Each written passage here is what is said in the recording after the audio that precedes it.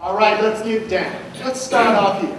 Aaron Sorkin, playwright, probably most famous for West Wing, but I think he said something pretty darn intelligent here. I hope our leaders don't feel that they have to talk to us in monosyllables or break it down in easy to understand things. You know, we get smarter when people talk to us smart. So a lot of the things we may hear today may be new. The bar around inclusion and competitiveness is high. And it is high for all of us. So let's put on our thinking caps and let's be serious and engage in a new frontier. A new frontier not in terms of it's brand new for everyone, but in terms of innovation and competitiveness, this lens has not yet been applied to underserved and disconnected populations. So are we ready to go? Yes, sir. Give me one more time. Are we ready to go? Yes, sir. All right, I like that in you. Let's level set a bit. What is the innovation economy? It's the period we're in right now. Latter part of last century, the early part of this century, that is marked by radical, radical socioeconomic changes that have been brought about by at least the convergence of these five factors. One, further globalized commerce. Second, democratized or widely available information. As was already pointed out in our smartphones, we've never had more availability of information in, in, a, in the history of the world than we do right now. Third, exponential growth of entrepreneurship throughout the world. Fourth, accelerated new knowledge creation. People like uh, Dr. Blaine and helping to create new knowledge and fostering new knowledge creation daily. The pace is accelerated. And finally, the interconnectedness of just about everything. The convergence of these five factors in one period, unlike we've ever seen before. The innovation economy. We're in an era of unprecedented, unprecedented opportunity. Never has it been more democratic information is widely available. Never has it been more egalitarian. We've moved from land ownership from and, and controlling the means of production to gray matter. Everyone has gray matter. Everyone can't own land or the means of production. More meritocratic. Incumbent wealth incumbent class. They matter, but they're not the determining factor. Make no mistake, we're not naive. This is not a perfect economic narrative or a perfect era. Of course not. But there are more opportunities today than in any other time in the history of mankind. More than agrarian, more than industrial, this innovation age presents unprecedented opportunity. But it also comes with a squeeze, what we call the innovation economy squeeze. From the top down, probably all of us have heard of the Tom Friedman flat world phenomenon, right? Probably in the last 40 years, three to four billion new competitors globally. And I'm one who believes everyone is smart. Some have been uh, behind repressive regimes with an inability to express their genius. Those regimes are falling, and those that are not falling have adjusted, China, to incorporate innovation within an existing structure. And they want the same things we want. Hey, we're smart, they're smart, let's get it on. But there's also what we talk less about is the bottom-up squeeze of tech adoption and integration. My grandfather came to Detroit, Michigan in 1920. Worked for him from Tuskegee, Alabama. Picked up my grandmother in Chattanooga, Tennessee. Worked for Henry Ford from 1920 to 1957. I still have his retirement watch. The Reverend Lieutenant Beecher Campbell Sr. That's my grandfather. When he worked at Ford, he worked at the Rouge plant. The Rouge plant was the largest plant in the world. At its peak, one plant employed 100,000 people. Let me say that again. One plant employed 100,000 people. Now the whole global company has never been more productive than it is right now. Has about 160,000 people. What we're witnessing with tech adoption and integration is productivity through the roof. But the decoupling of productivity from new jobs. The decoupling of business productivity from new jobs. In the 20th century, the hallmark of economic recovery was business productivity. Why? Because it necessarily meant you needed new bodies, new jobs to meet new demand. And we all know that is no longer the case. So, it begs the question, where will we go from here? Let's further level set. Let's look at some economic or business productivity numbers. And let me also say, some of you have gone to economic conferences over the years. You've probably heard, may have heard advocates say, for example, if black people were a nation, we have $1 trillion of buying power, we'd be the X largest economy in the world. That's the poor metric. That's income. Now I'm all for high income, beginning with my own.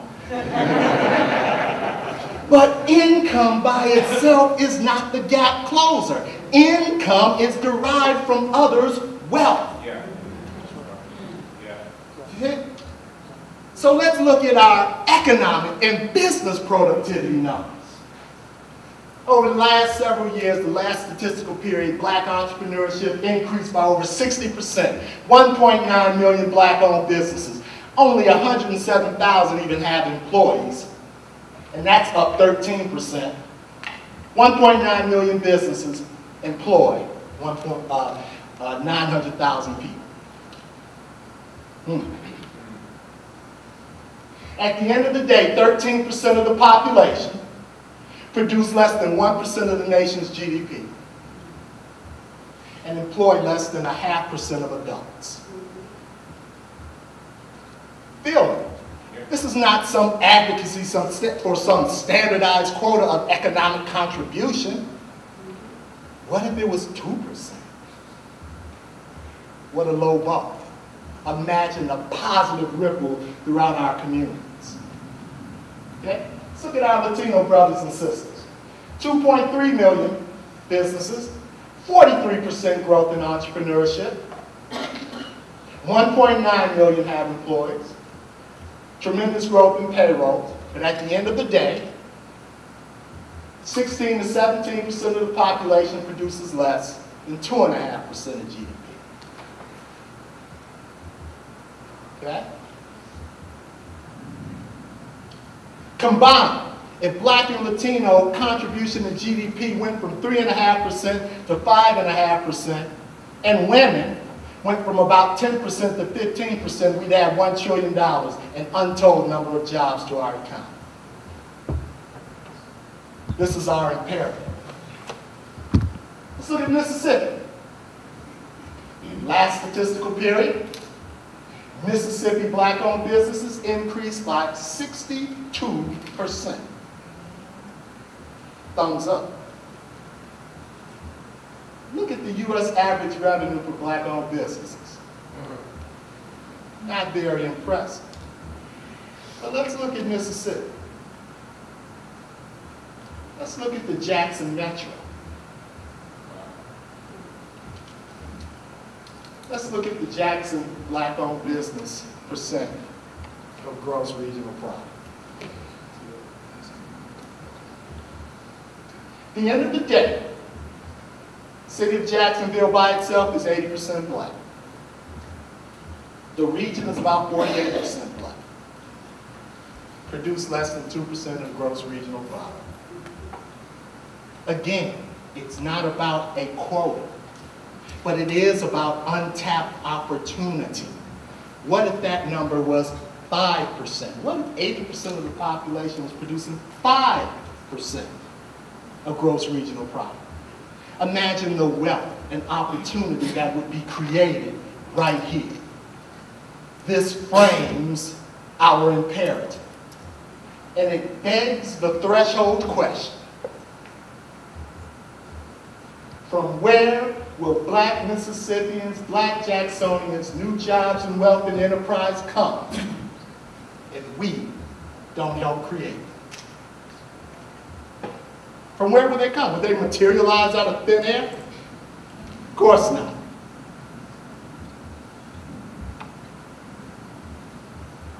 Trigger's a new thing. We call it TAPIN.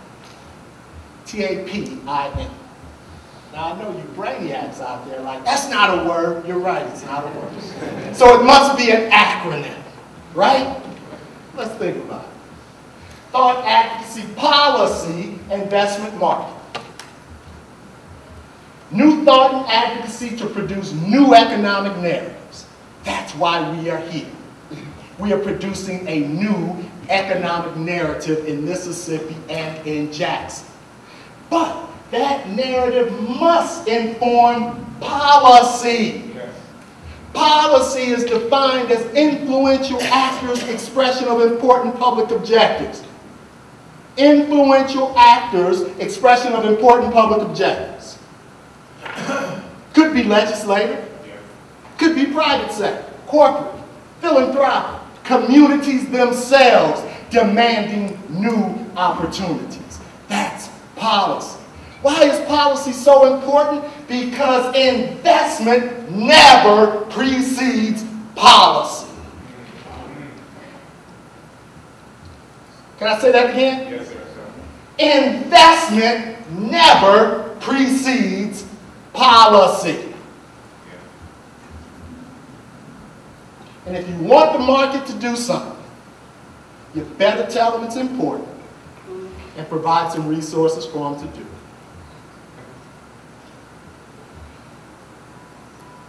Primacy of policy. Sun Tzu, Chinese architect of strategy. The victorious army first obtains conditions for victory, then seeks to do battle. The defeated army first seeks to do battle, then obtain conditions for victory. The conditions for victory begin with policy. Influential actors' expression of important public objectives. The primacy of policy. Here's how it looks.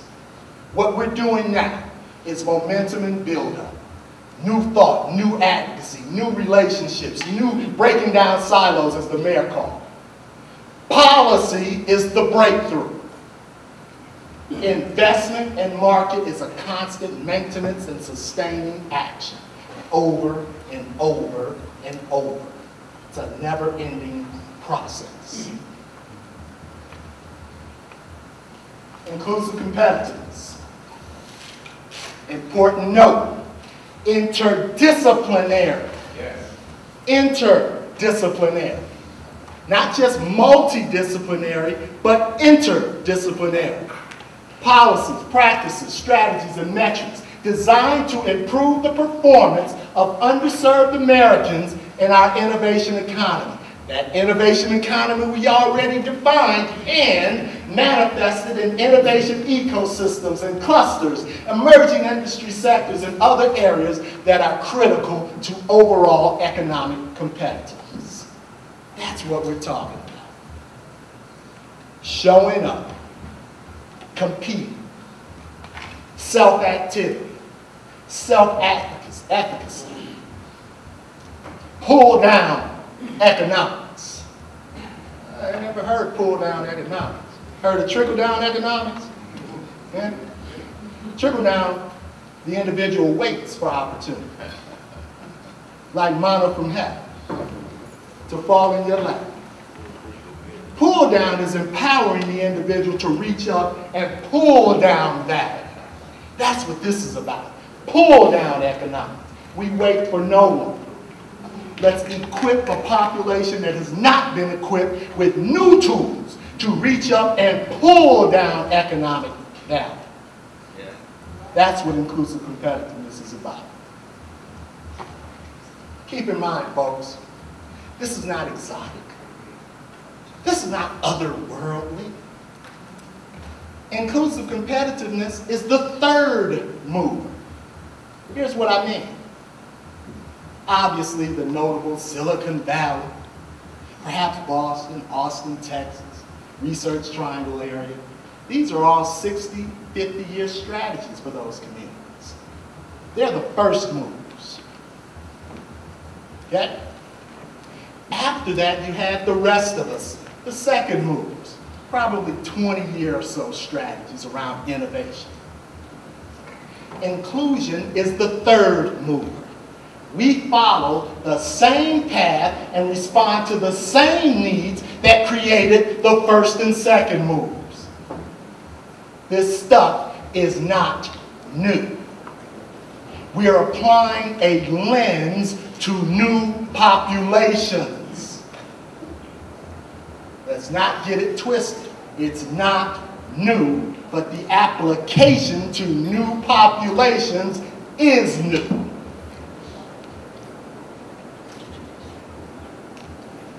Law of inclusive competitiveness, and we believe this just like we believe what must what goes up must come down. We believe it's as firm as the law of gravity.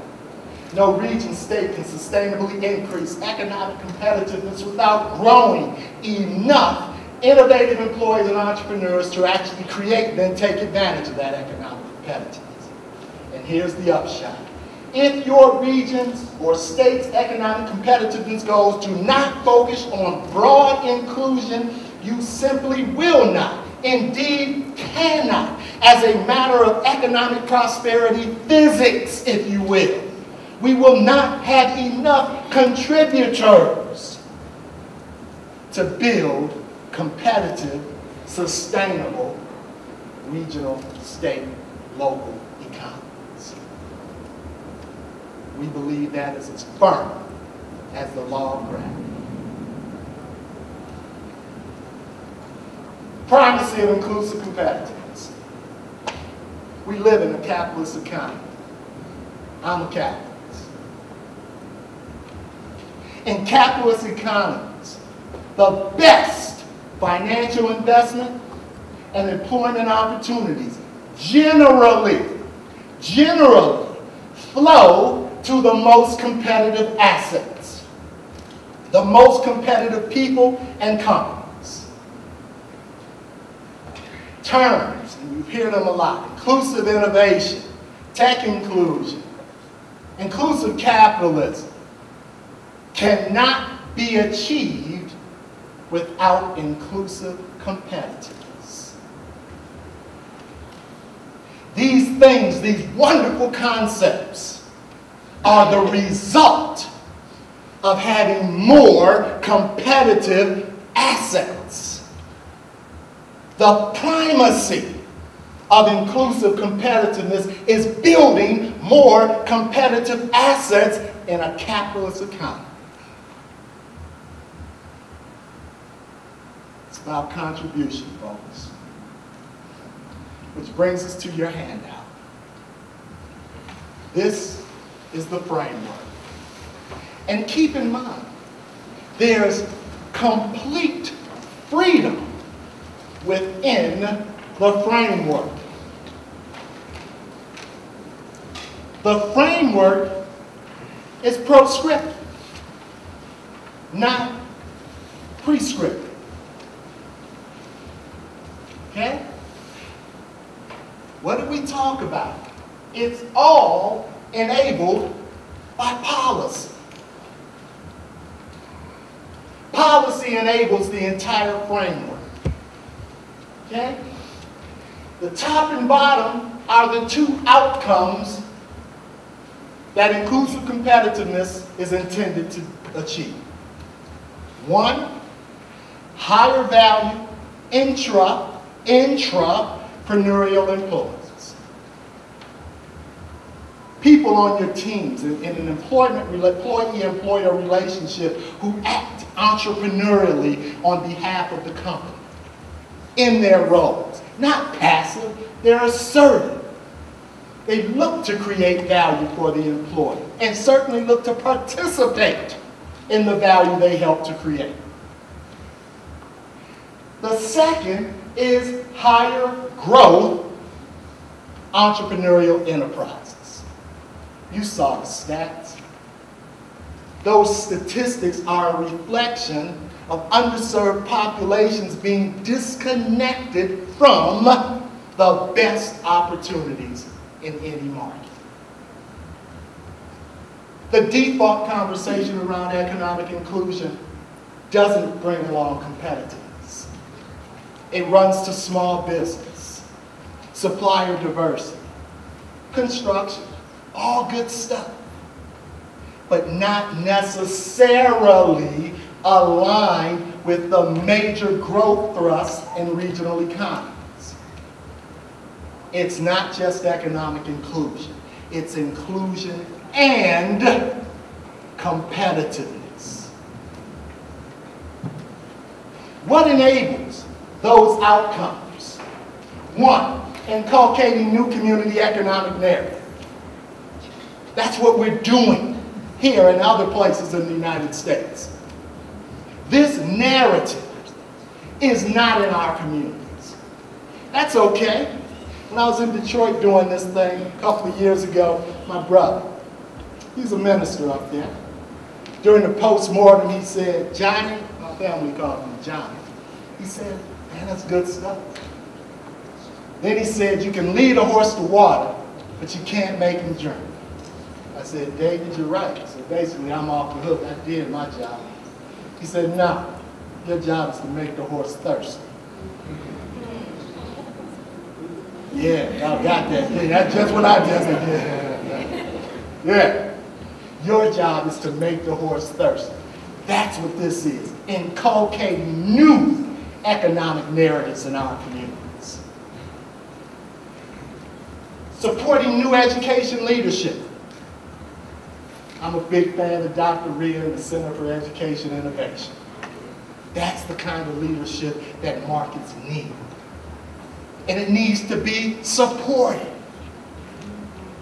Not in a passive, half-hearted, sappy kind of way, but in a firm conviction way. New education leadership. I stopped by Seattle's Best Coffee this morning. I'm staying at the Hilton Garden. An espresso, iced coffee too. If I had drank a warm cup, I'd still be sweating right so I drank an iced coffee this morning. But they sell all kinds of things, lattes, this, that, and the other. 30 years ago, none of you would have imagined ordering, except Brother Coleman who's out on the West Coast. The rest of us would have never imagined ordering a cafe latte or a fancy cup of coffee that cost $4 until it was offered. Huh? Our communities haven't been offered a cafe latte yet. That's awful. Feel me? All right. Enable new organization leadership. That, that's not-for-profit infrastructure, the leadership infrastructure in our communities. Serve great ends. The challenges, most of them, are social human services education services, and direct services. We have not one what's called keystone organizations or trim tab organizations that are high leverage kinds of organizations whose service and leadership is aggregating the market, leading the market, not just delivering programs.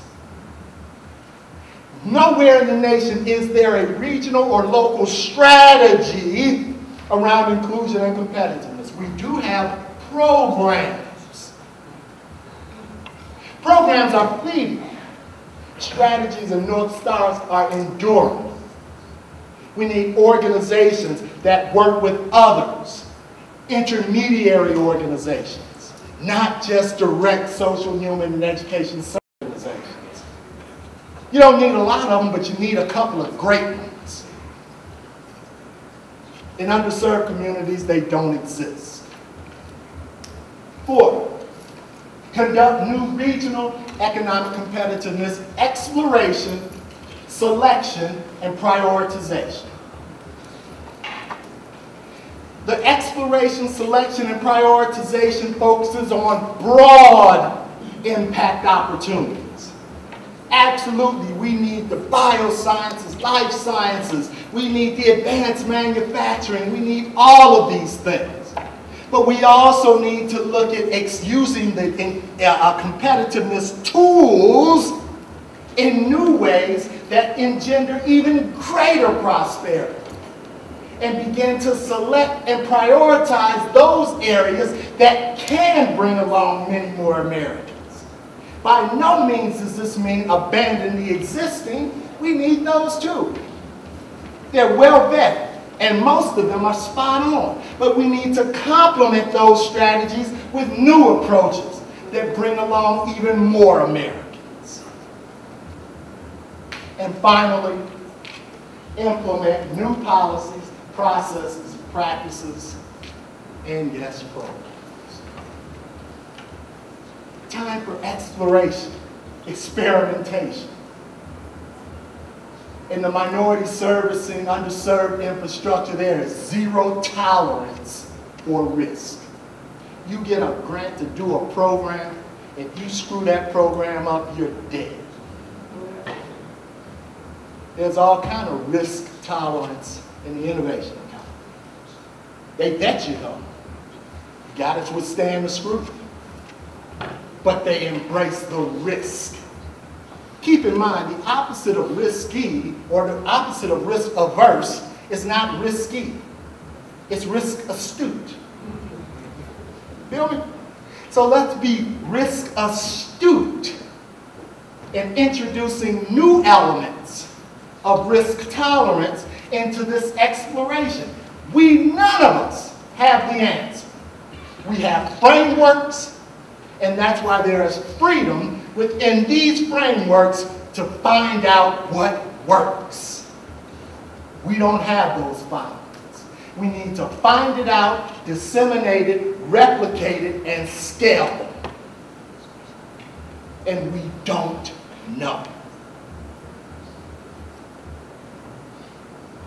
Folks, I echo the mayor's sentiments. I echo pastor's sentiments. This is a unique time it is perhaps pregnant with opportunity. And we're all the parents. How about that to stretch of the metaphor mercy? My time is up. together. We have an opportunity to build an inclusive and competitive economy. Let's join the movement. In fact, let's lead the national movement. Love you, Jackson. Let's get down.